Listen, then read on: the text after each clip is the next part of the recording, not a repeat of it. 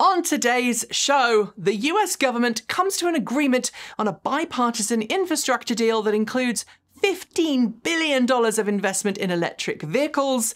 Tesla announces that it's going to have an AI Investor Day where we're going to learn lots of cool things about its autonomous vehicle tech. And we get to the bottom of what happened when a Tesla taxi service was shut down in New York. These stories and more Coming next. This is Ecotricity's Ecotech Roundup show from New Zealand's only carbon zero certified renewable electricity company. We only source from wind, hydro, and solar, and we are the leading supplier of electricity to electric vehicles in New Zealand. Switch today at ecotricity.co.nz. Welcome back to another roundup in the world of clean cars and green energy. Thanks for joining me. Ever since the inauguration of President Joe Biden in the US earlier this year, there's been very little evidence of bipartisanship on Capitol Hill, with Republican lawmakers all but sworn to block any Democratic bills introduced to either House. But this week, the first True signs of bipartisanship occurred when lawmakers from both sides of the aisle came together on an agreement about a joint infrastructure bill worth nearly 1 trillion US dollars. If passed, it would include $15 billion of spending for charging infrastructure and buying both electric school and transit buses. It's far from the 174 billion originally proposed by the president, and it wouldn't include any EV tax credits. However, President Biden has said he'll only sign the bill if Republicans agree to a second bill passed through reconciliation that would likely add additional funding for EVs as well as tax credits. The day after celebrating the breakthrough, many Republican lawmakers say they're angry about that stipulation, though, so anything really could happen.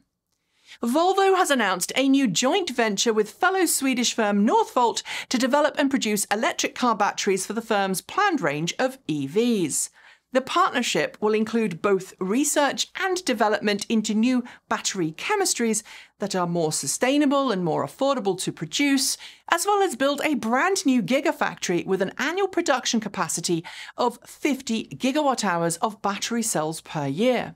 That facility is not due to begin cell production until 2026, but in the interim, Northvolt has agreed to produce 15 gigawatt hours of battery cells for Volvo at its ETT battery plant in Skellefteå, Sweden. Since Northvolt already has an established battery recycling program in effect, we can expect Volvo to make use of Northvolt's closed loop recycling system, something that will reduce demand on raw materials and improve the carbon footprint of all of Volvo's electric cars. Remember, much of an EV carbon footprint comes from its manufacturing.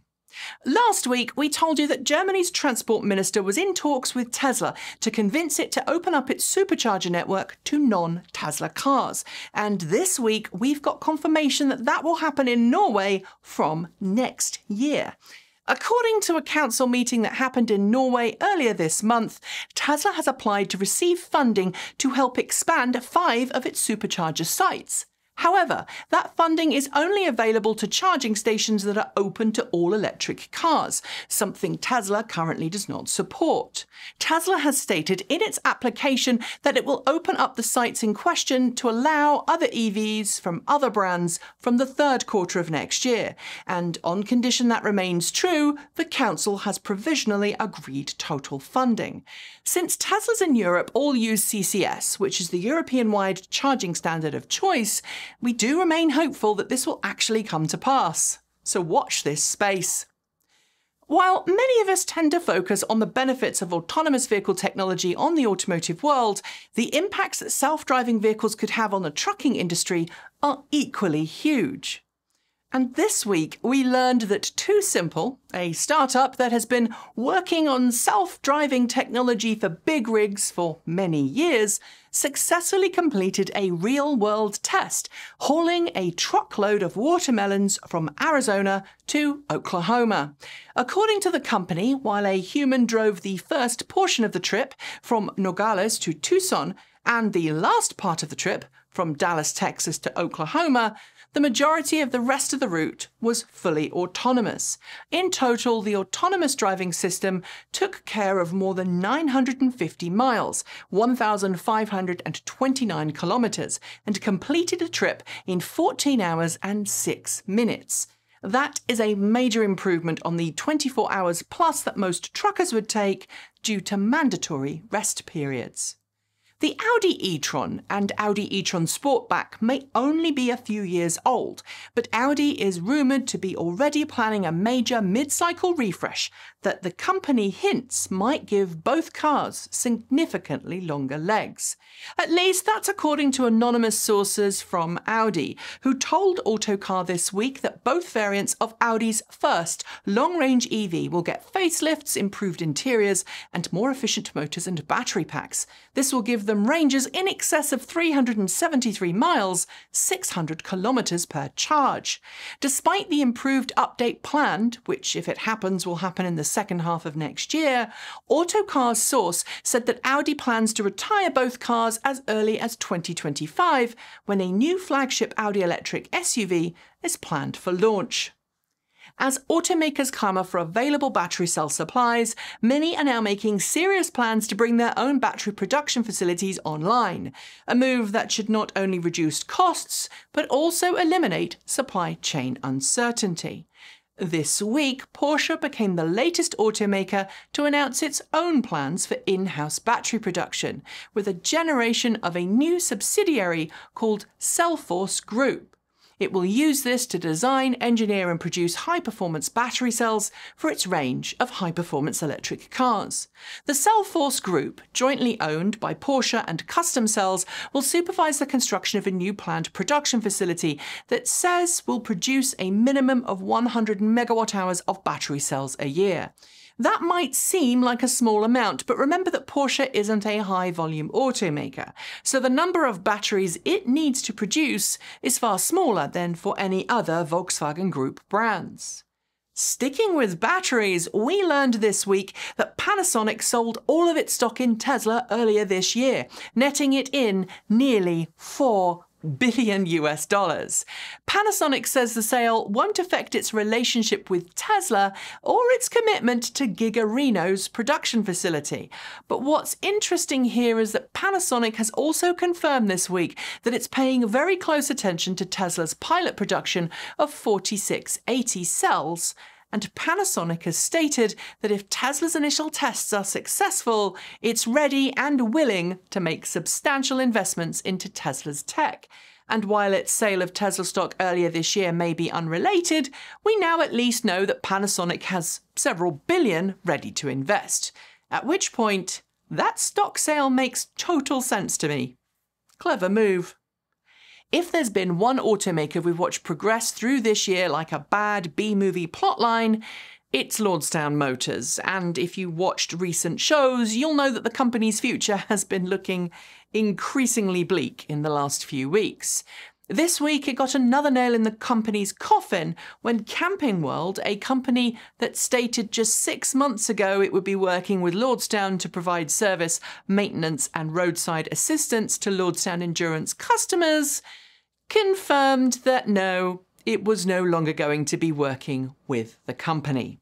While Lordstown had implied a deal was on the cards, we learned that no actual deal was signed with Camping World even if Lordstown said earlier this month that it was, quote, still in discussions with the retail chain.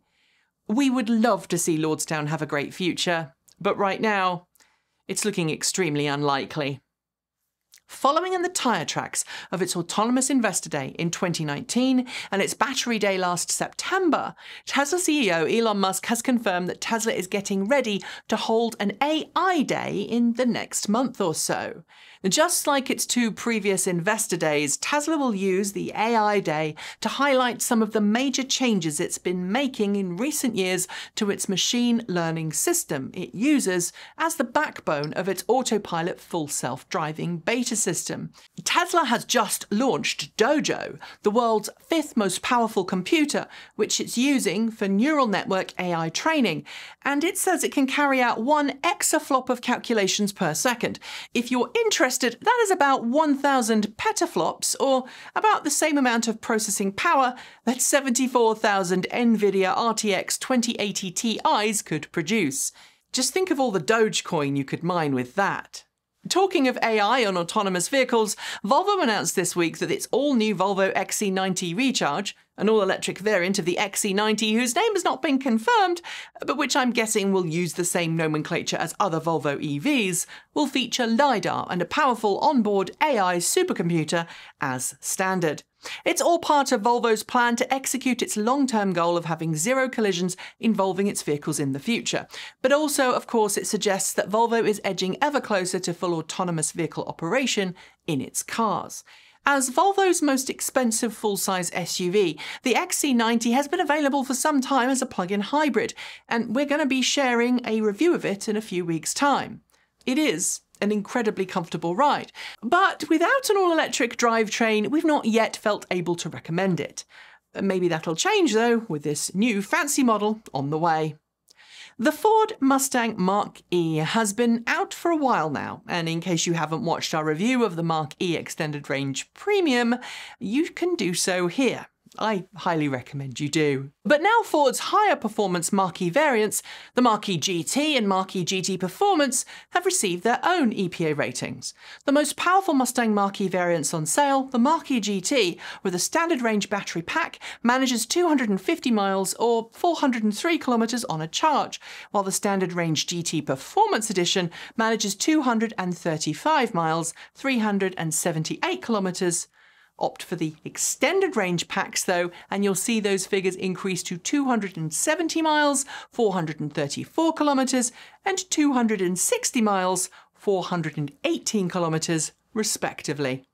And finally, Sometimes uh, stories come across our desk at this channel that require some serious decoding, and our last story is an example of that. It tells the tale of ride sharing specialist Revel and its recently announced 50 strong fleet of Tesla Model Y rideshare vehicles in New York, and how the service has been shut down by the New York Taxi and Limousine Commission. New York limits the number of licensed taxicabs on its roads, and there was a short term exemption for electric vehicles. But now the TLC says that rule has ended to prevent making New York's congestion worse. Some outlets had misreported that the TLC had told it Revel could buy gasoline cars instead. But what the TLC meant was that Revel would need to buy out 50 existing taxis, swapping the medallions of those vehicles into its Teslas. As they say, context is king, and while it is a bit of a disappointing end to the story, we're hopeful that Revel will figure it out very soon. And on that note, we are done for the day. Make sure you hit that notification bell so you don't miss out on our next episode. And if you haven't already switched, please consider switching to New Zealand's only carbon zero certified renewable electricity company. It is super easy to make that switch, and when you do, you'll be helping New Zealand wean itself off dirty energy and onto clean green power that will keep the land beautiful for generations to come. I'll be back soon with more great videos for you all to enjoy, but until then, I'm Nikki Gordon Bloomfield. Ka kite! See you next time.